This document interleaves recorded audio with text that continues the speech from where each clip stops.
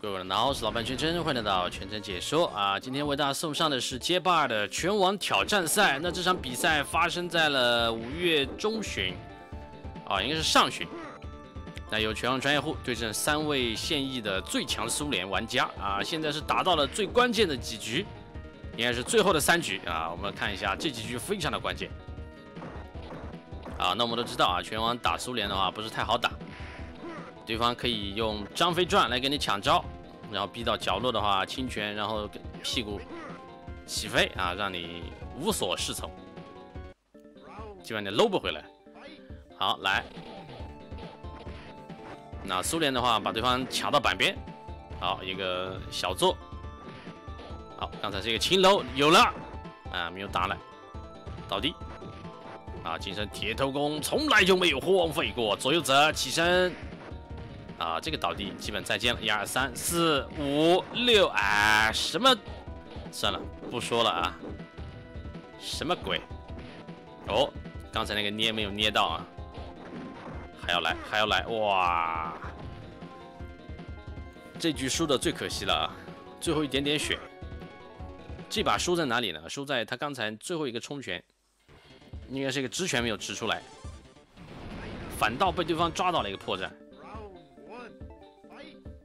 看这局，好一个 low，好铁头功给你抓过来，一二三四五，哎什么鬼？跳过来没有抓，好轻摸一下，它是一个复合操作，好转一下，集体农庄转牙个，居然没有吐奶不科学，好压板边。轻 A 扛到板区啊一个上泽，我吐奶兄弟。好久没有吐奶了，好一个转身，打一个后手。如果说他后手后手打发动的话，那你的拳王有可能要遭殃啊。因为从判定上来说，他的苏联转是要比你的直拳、你的冲拳判定要高。吐奶兄弟，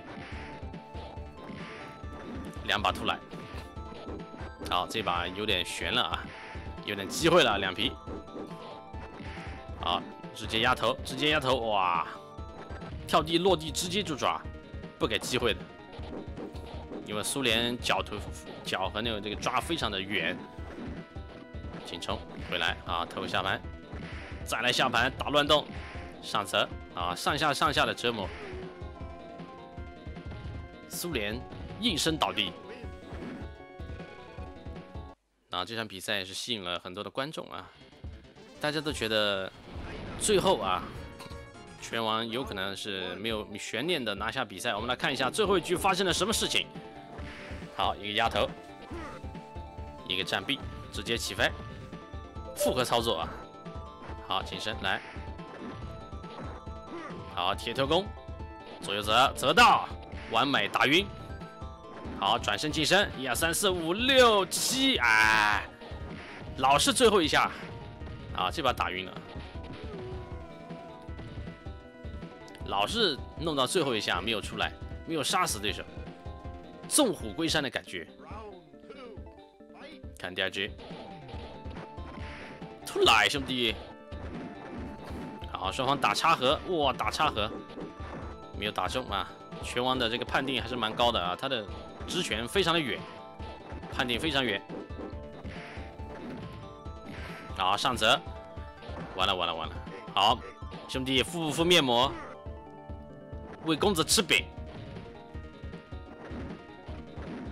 喂哇吐奶兄弟哇好大一口，来喂喂公子吃大列吧，啊吐奶哇三把吐奶，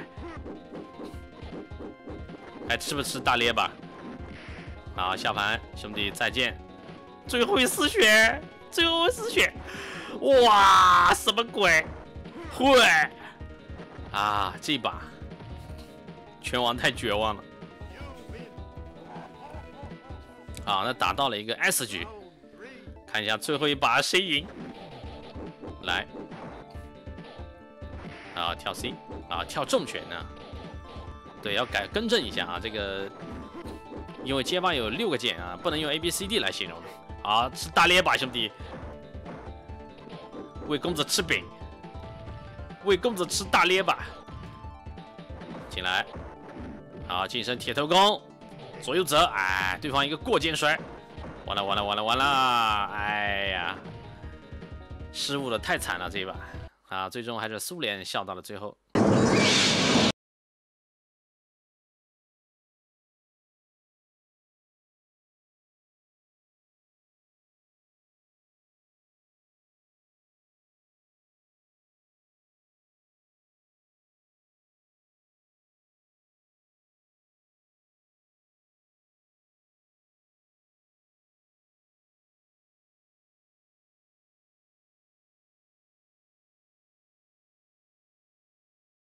大家喜欢群解说，请点波关注，感谢收看，下期再会。